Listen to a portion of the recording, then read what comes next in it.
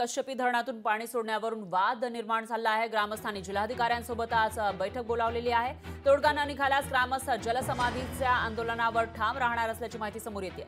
नाशिकमध्ये कश्यपी ग्रामस्थांनी जिल्हाधिकारी यांच्यासोबत बैठक आयोजित केली आहे. पाणी सोडण्यावरून वाद झालेला होता तर या बैठकीमध्ये तोडगा निघतो का याकडे आता लक्ष आहे. आणि तोडगा निघाला नाही तर ग्रामस्थ जलसमाधीच्या आंदोलनावर ठाम आहे पाणी आमच्या हक्काचं. ऐका ऐका मला माहिती मिळाल्यानंतर मी तहसीलदार मॅडमला पण बोललेलो आहे.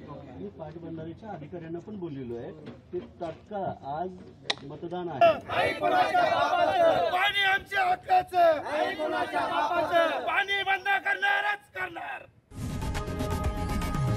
लोकशाही मराठी. ऐका पहा जागरूक रहा.